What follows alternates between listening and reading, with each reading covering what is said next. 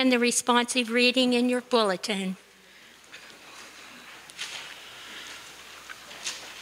God said, I have loved you with an everlasting love. I have drawn you with loving kindness. How great is the love the Father has lavished on us. That we should be called children of God. Please. Listen to God's word of love from the prophet Isaiah. Do not fear, for I have redeemed you. I have called you by name, and you are mine. When you pass through the waters, I will be with you. And when you pass through the rivers, they will not sweep over you. When you walk through the fire, you will not be burned. The flames will not set you ablaze.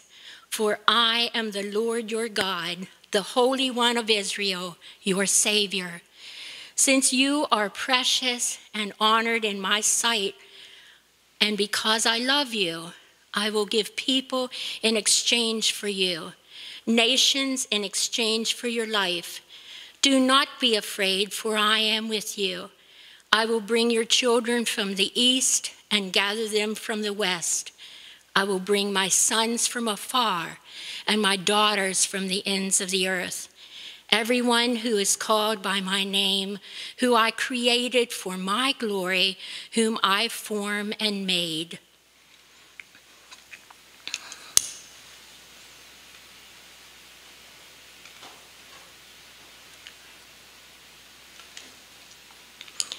The first candle we light this Advent season is the candle of hope. Our hope is in God who is merciful and gracious.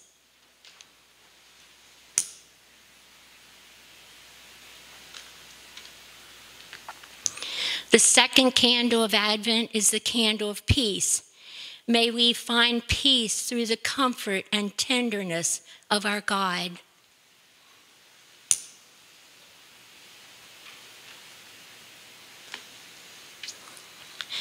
The pink candle is the candle of joy. The ultimate gift is in the coming of the Lord and the establishing of God's kingdom.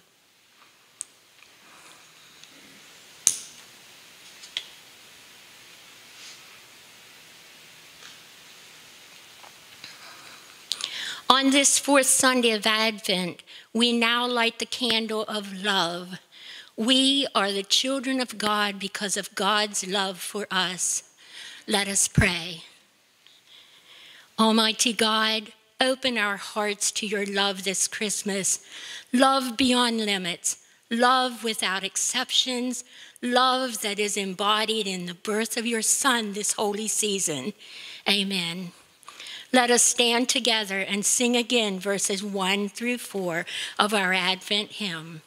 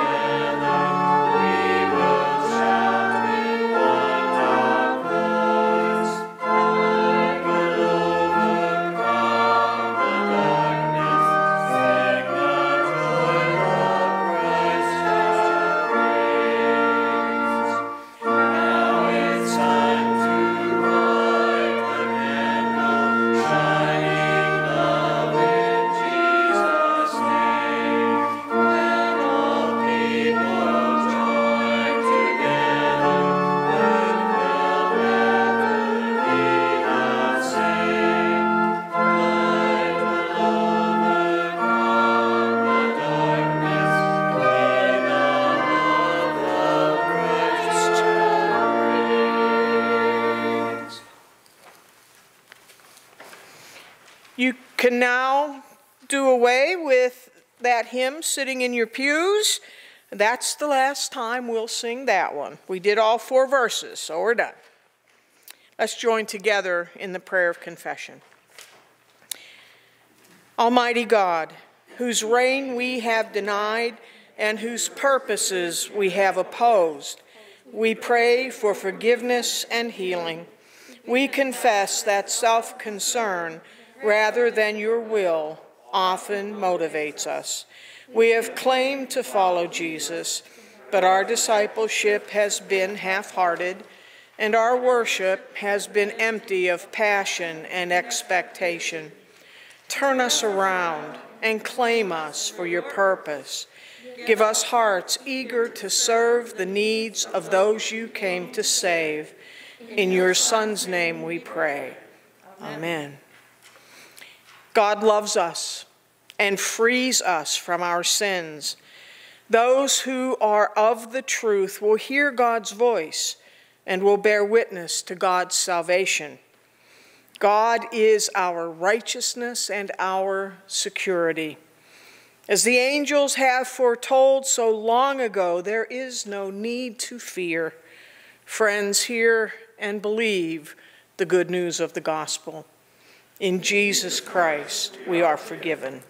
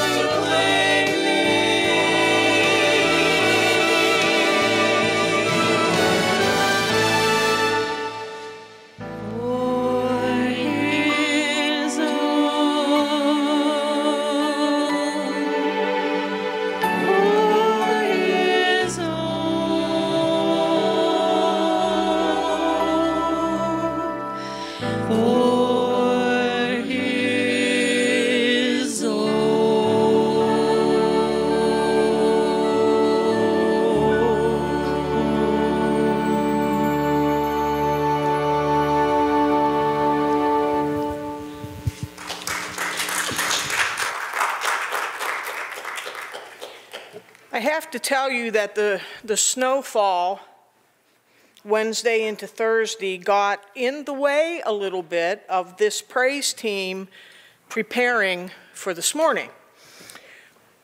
So they came in and did it now. Um, and the reason they prepare so hard, and they do, there's a new camera, there's a new sound system. They are trying so hard to get all of it working together adequately so that what we post online for all of you folks who are home is something of quality. I would also say that um, we have a couple of folks here who gave their time and effort and always do. Um, Jordan Kenyon takes care of the sidewalks and the ramp always when it snows. Jack helped this time with the snow blower. That was a lot of snow. And why do they do it? It's not a sense of obligation. It is out of love. It's out of love for all those who can't be here, all of you who are watching us from your homes. We want to give you the best worship experience that we can give you. Louise is always here playing the organ. Others are always here to do their part, and they do it out of love for this place and for the people. So God bless all of you for what you do. Thank you.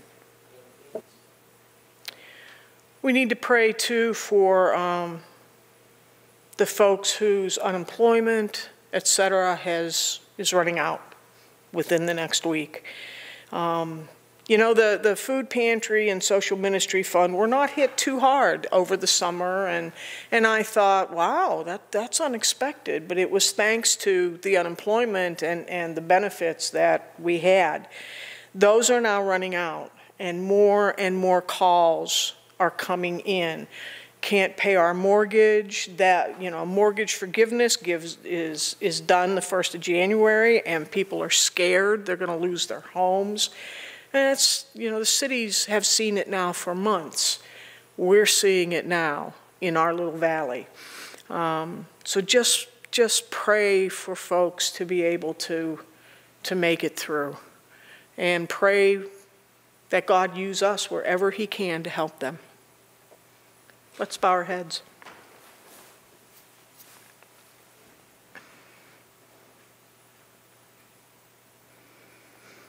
If we took all of our concerns, if we took all the worries we carry on our hearts, if we took some of the anger we feel toward those who are not helping us when it is their job to help us, if we took our fear, our anxiety, our disappointment and depression with the holidays, if we put them all together, Lord, and asked you for help with them, there is but one answer. And you gave that answer in a stable. There is only Jesus Christ. Humans will always fail one another. We are sinful. People will not meet our needs. Creation will groan. Awful things will happen. And there is only one answer, no matter what it be, and that is Jesus. Some will come through COVID after weeks in the hospital. Others will have COVID and have a few sniffles and, and walk away. And still others will never return home and will die without family. And the answer, Lord, is, is your son. It, it matters not what weighs us down right now. The answer in, in all of its myriad of details is Jesus. Without him, Christmas is Santa Claus. But with him, there is new hope, and there is light and laughter, there is joy, and there is love. We're grateful, Lord, that we know your Son. Grateful for the peace that he gives us at this time. And Lord, we, we pray to be vessels that will bring that news to others that don't know you. Use us to shine that light into darkened hearts. Help our government. Help other governments. There is no one who seems to have gotten this right. We blame and we look for scapegoats with why it's so bad, but no matter where we look, it is the same. We are faced with something beyond our ability to control. And if we would only admit it, our lives are like that a lot. And the only peace we can find is the peace that we find in you. Grant us that. Be with your world, Lord. Hold it in the palm of your hand. And we are of all to be pitied if all we wish for is a baby in a manger. Lord, we ask for a Savior on his throne to come, to make this world into what you created it to be to do away with tears and heartache and death. And all of it we know is a promise that you will keep. And we say, Come, Lord Jesus, as we pray the words he taught us, saying, Our Father, who art in heaven, hallowed be thy name. Thy kingdom come. Thy will be done on earth as it is in heaven. Give us this day our daily bread, and forgive us our sins as we forgive those who sin against us. And lead us not into temptation, but deliver us from evil. For thine is the kingdom, and the power, and the glory forever. Amen.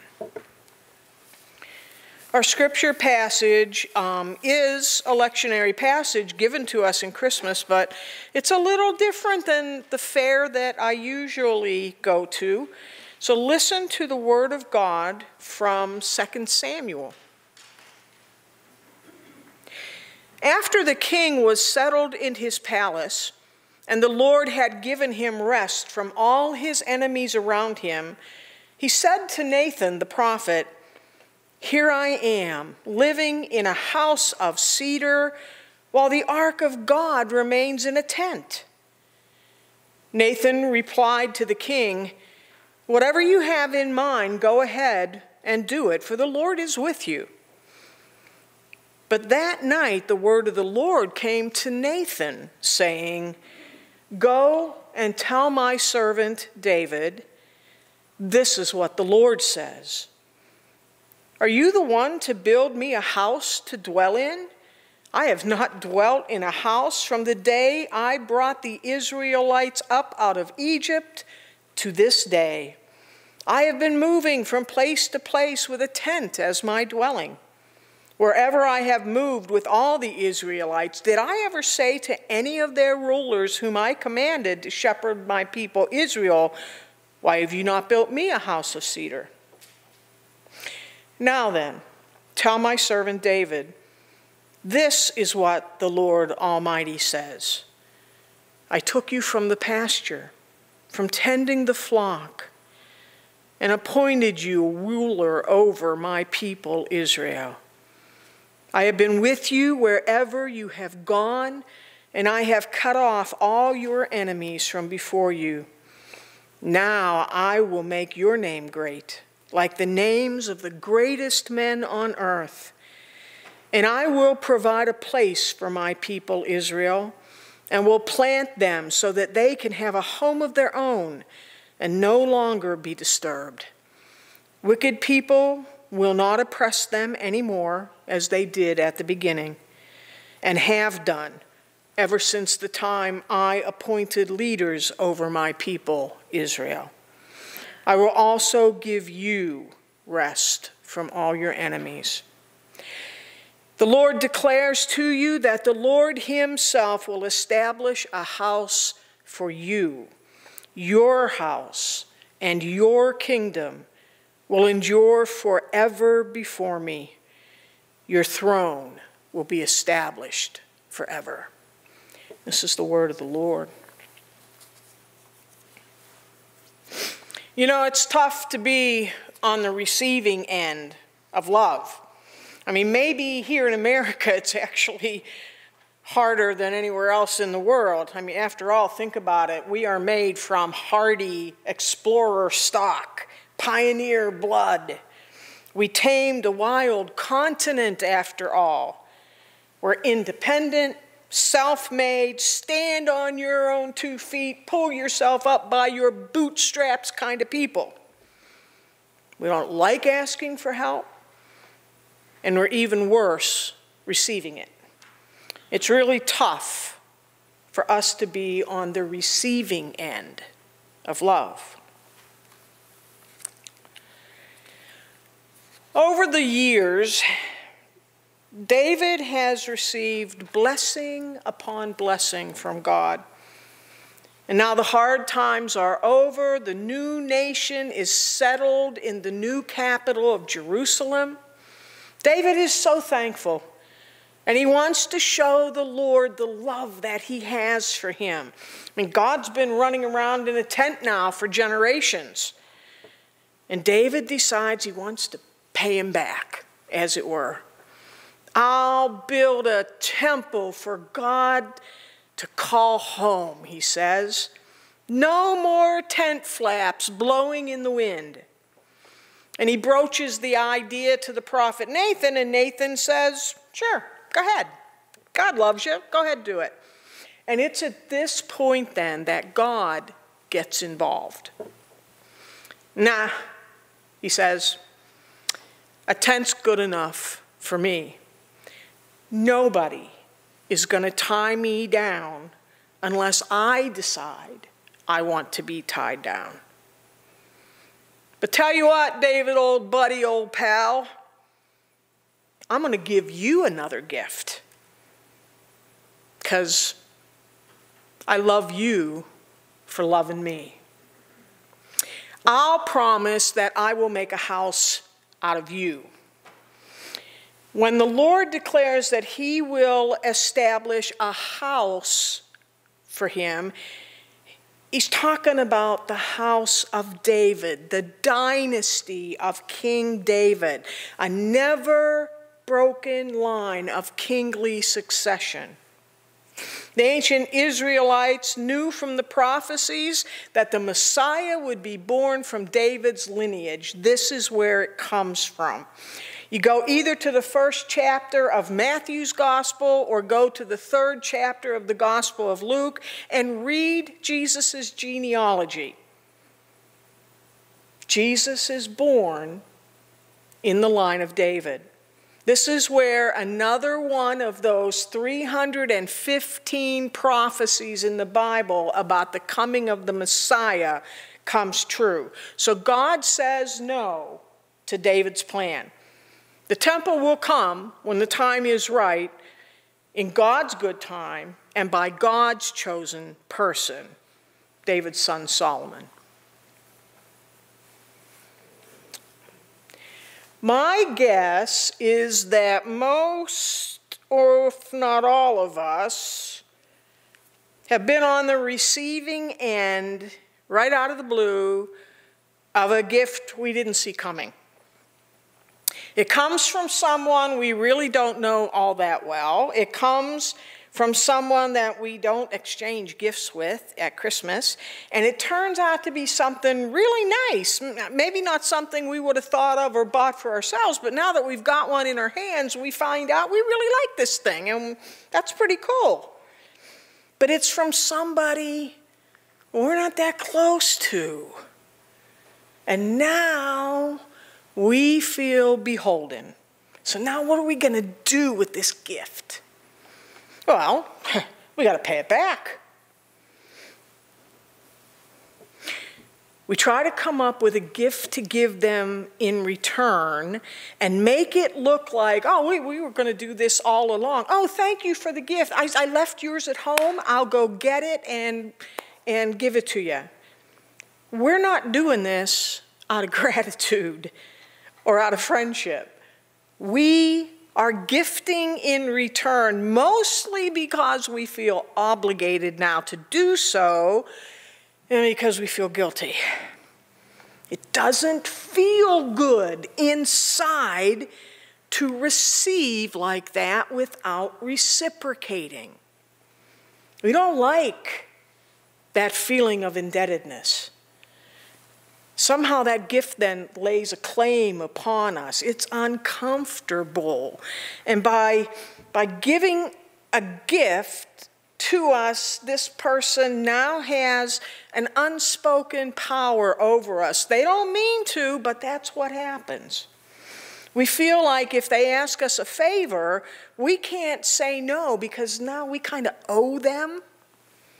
Remember, we are those independent pioneers who would never ask anybody for help. And now we're stuck. How do you go about restoring that equilibrium? Well, Jesus tells us that it's more blessed to give than to receive. And it's also a whole lot more comfortable to give. We don't like to receive. Think about what it feels like if somebody just simply gives you a compliment.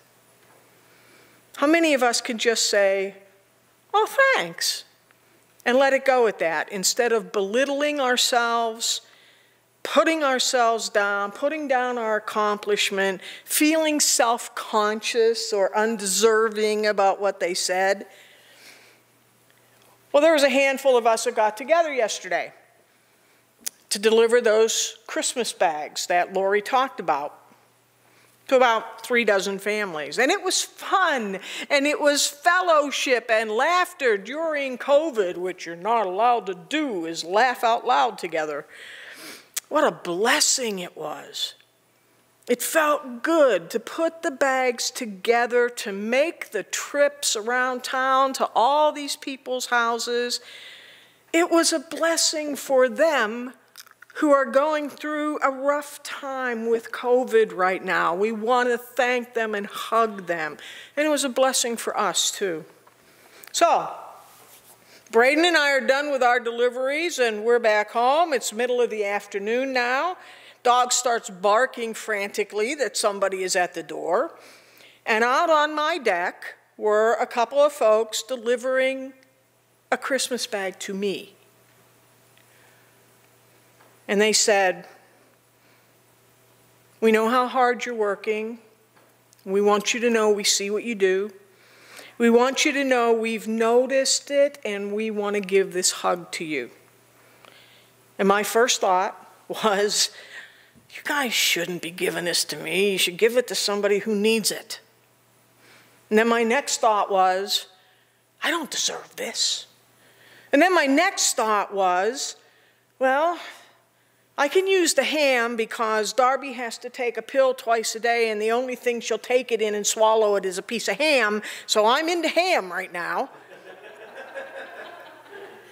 and I was thinking, well, who else could I give the bag to? I don't, this, I don't deserve this. Oh. Now, I've learned over the years to just say thank you most of the time. So, all those things that were going through my mind, I didn't say out loud. I think I did say the thing about the ham, though. But still, there they are, all rolling around in there. I don't deserve it. I don't want to take a gift. Just see what we do? We all do it. And I know I'm not alone with that. It is uncomfortable to be on the receiving end. So here we are, it's a few days before Christmas, the season of giving.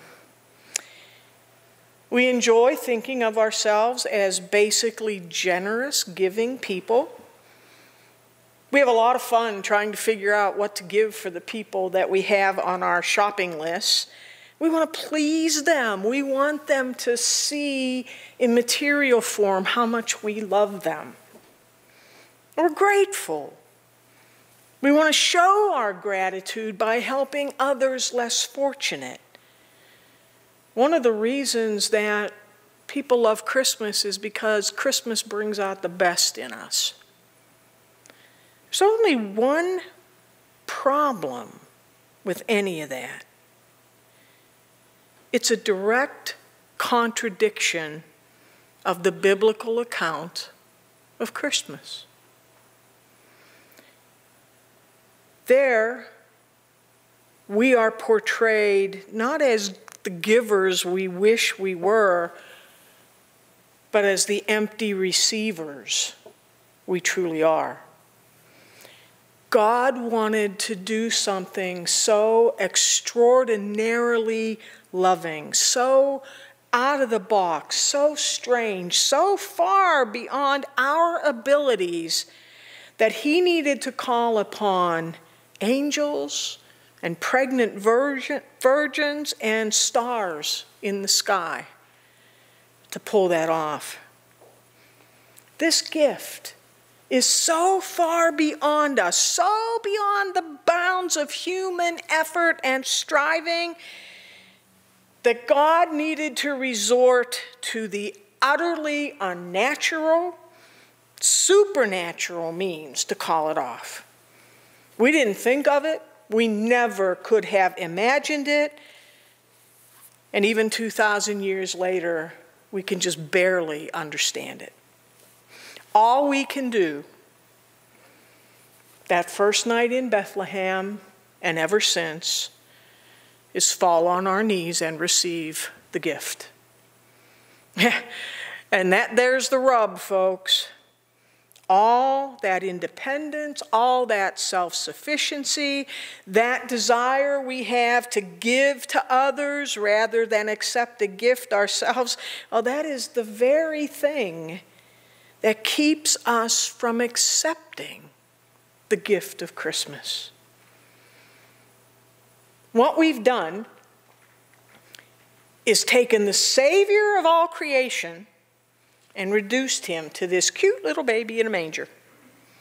We gorge ourselves at this time of year on all the material aspects of giving and receiving presents, and we minimize the greatest gift of all. And many times we leave that greatest gift of all sitting in that straw and never open it.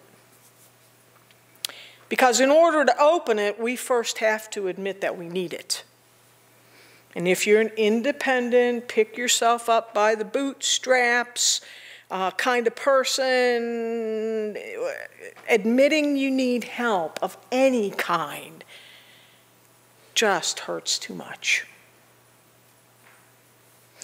Alcoholic Anonymous has 12 steps and in order to recover from addiction, the first thing you have to do is embrace the first two of those steps. The first step was we came to believe we were powerless.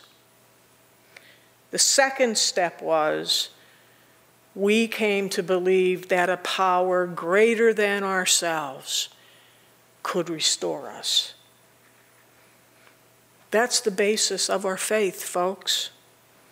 We came to understand how broken we are, how unable we are to rid ourselves of the sin that we carry, and we ask for help. from the one that we know can change our lives a Savior, a gift unlike any other gift that we didn't create it, and there's nothing we can do to match it. The babe in the manger is a nice substitute for the Savior hanging on the cross. We can keep that baby in the box. We can keep him cute and cuddly. We can give thanks for him. We can give gifts in return to him, to others we love, to those less fortunate. Christmas is a great time to show our gratitude and love. But the real gift comes if we allow that baby to grow up. He gave himself on the cross because he loves us. Pure and simple. He didn't need to, he chose to, and we can never pay him back. When we come to that understanding of Christmas, we have come to that faith. It's tough being on the receiving end of gifts, gifts you don't deserve, gifts you can't pay back to even up the score. All you can do is say thank you. In the name of the Father, and the Son, and the Holy Spirit. Let's stand together and affirm our gift, our faith from, from the Confession of 1967. God's sovereign love is a mystery beyond the reach of man's mind. Human thought ascribes to God superlatives of power, wisdom, and goodness, but God reveals his love in Jesus Christ by showing power in the form of a servant, wisdom in the folly of the cross, and goodness in receiving sinful man. The power of God's love in Christ to transform the world discloses that the Redeemer is the Lord and Creator who made all things to serve the purpose of his love.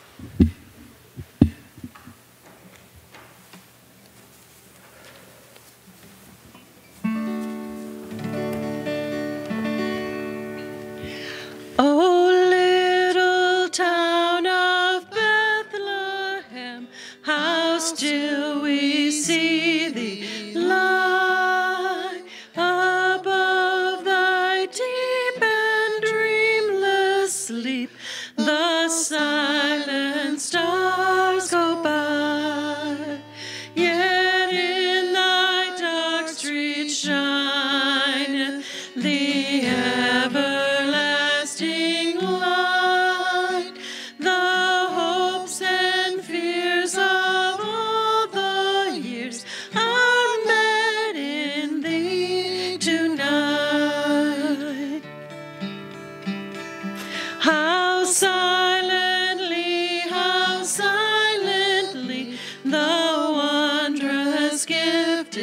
child.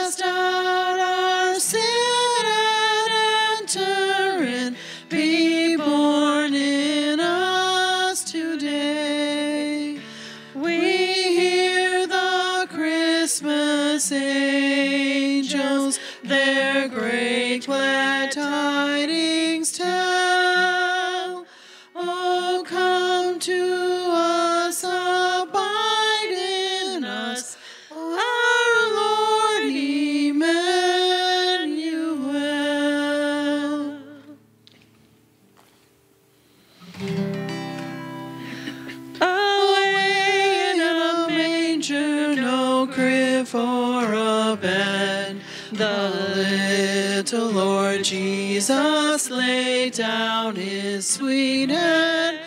The stars in the sky looked down where he lay. The little Lord Jesus asleep on the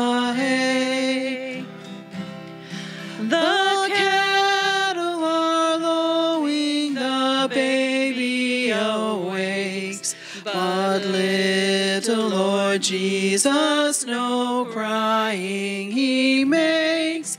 I love thee, Lord Jesus, look down from the sky and stay by my cradle till morning is nigh.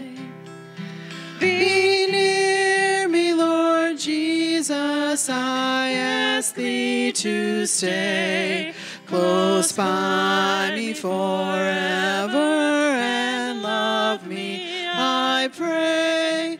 Bless all the dear children in thy tender care and fit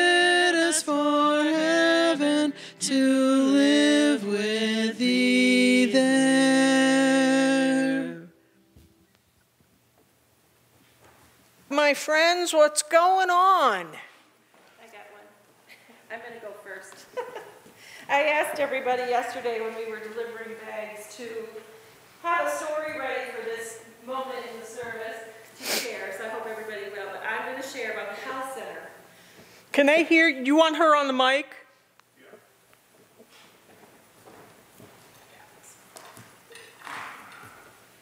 Um, in going to the health center, we took nine bags over on Friday. We came over and packed a few up and went over there. And they let us in the back door, and uh, a few of them gathered around, and they were blown away. They said they feel forgotten sometimes, and they were just so blessed.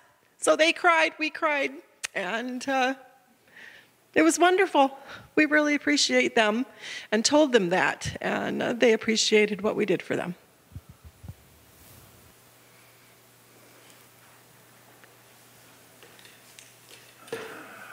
Well, I kind of have two stories, I guess, about yesterday. One is Braden and I had a delivery to make down um, Catlin Hollow.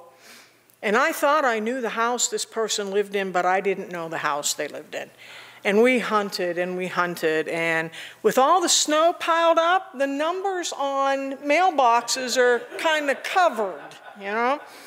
So we went back and forth and we found a number or so that went on the other side and then a number or so that went way the other direction. And I said, there's only one house this can be. It's got to be the house in the middle. So we went up there, took the bag up. They had a big German Shepherd in the house, and they weren't home. And this dog is standing at this big glass sliding door, and I thought, oh, please stay there. Oh, and so I left the bag on the porch, and I went home and I texted Jess Millard and said, I just left this. Do you know what their house looked like? Did I get the right house? And he said, Is there this? Is there that? And I said, No, but there's a big German Shepherd dog. Oh, I think they do have a German Shepherd dog. And we went back and forth, and I just thought, and Lori said, If it's the wrong house, God put it where He needed it to be.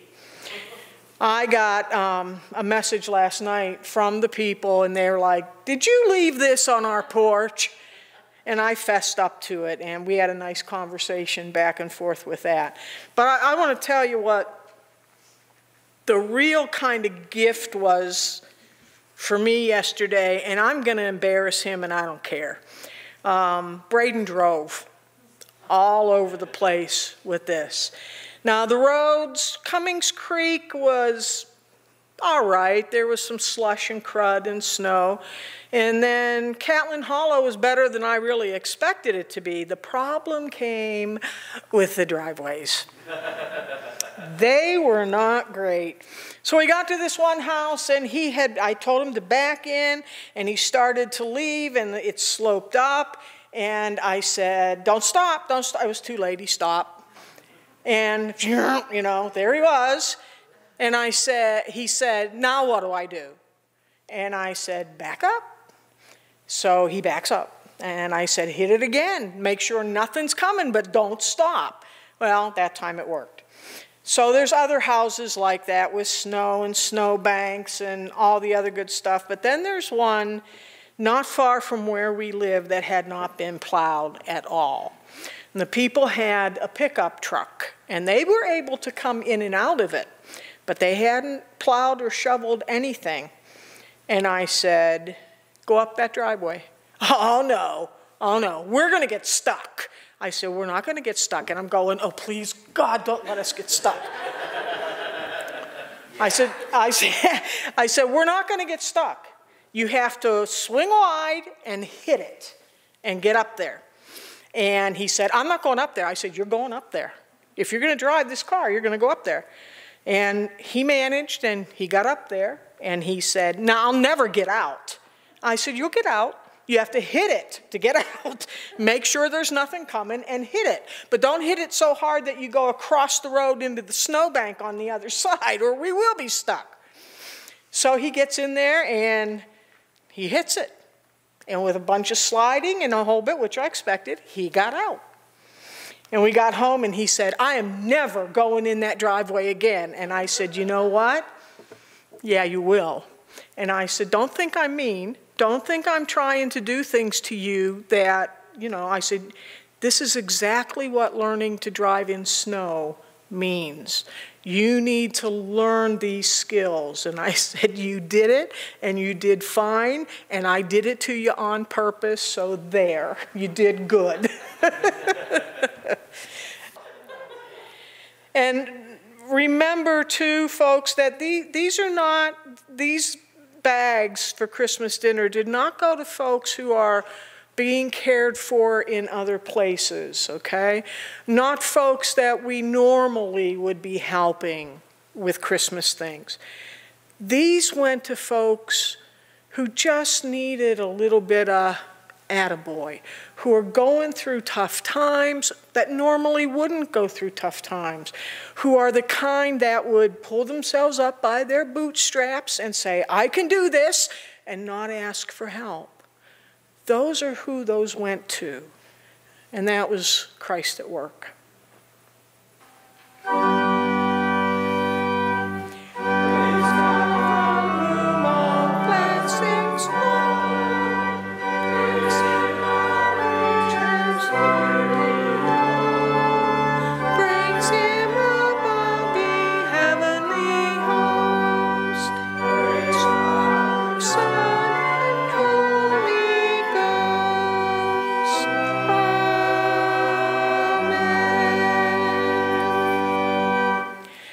In the name of the one born that we might live, we have come to do your will, O God.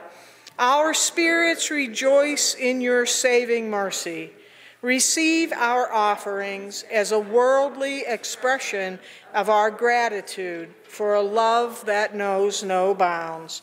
May our gifts be used to feed the hungry, to clothe the naked, and to bring hope to a world in need. Amen. Our final hymn is Star Child. It is on the back of your bulletins. Those of you online don't have it. I'm sorry.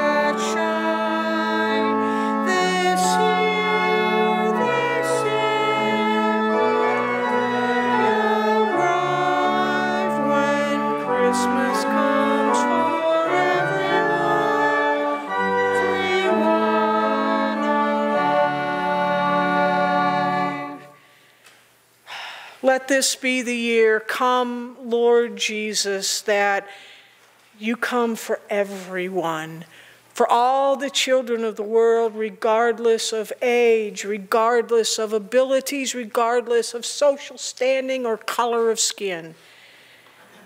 That Christmas comes, that you come for your creation and your world. And now go in peace, and may the love of God, the grace through our Lord Jesus Christ, and the communion and power of the Holy Spirit be with you now and always. Amen.